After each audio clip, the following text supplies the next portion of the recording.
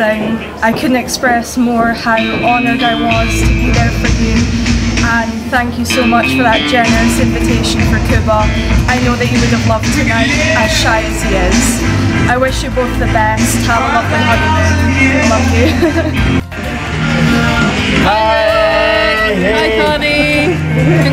Congratulations! You've had a Well fabulous done. day. Thank you so much.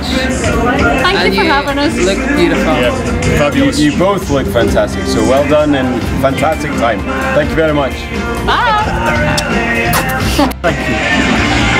Rick, honey, just want to say thank you very much for letting us share your special day with you and uh, wish you all the best for the future. Love you loads. Love you lots! So glad we got to come here for your wedding.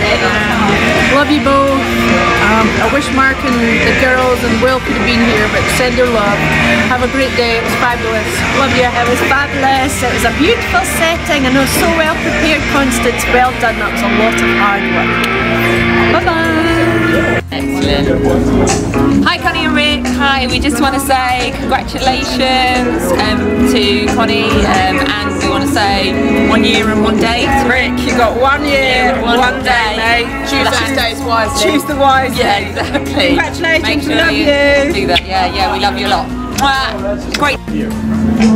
Hey Rick and Constance, the best of you guys. Uh, Constance, we're gonna miss you coming around uh, every summer. I hope you guys actually come over together and visit us in Houston, Texas with all that heat. Michelle and I love you very much. Take care. There we go. Thank you. Connie, Rick, thank you for inviting us here today. Rick, I've never met you before. Having seen you, the two of you together though, wow. You just seem to be absolutely perfect. So thank you for including me and Liz here together today. And I'm wishing you all the best. We're both wishing you all the best for the future. And Rick, I'm looking forward to getting to know you more in the future. So good luck guys. Excellent. Goodbye.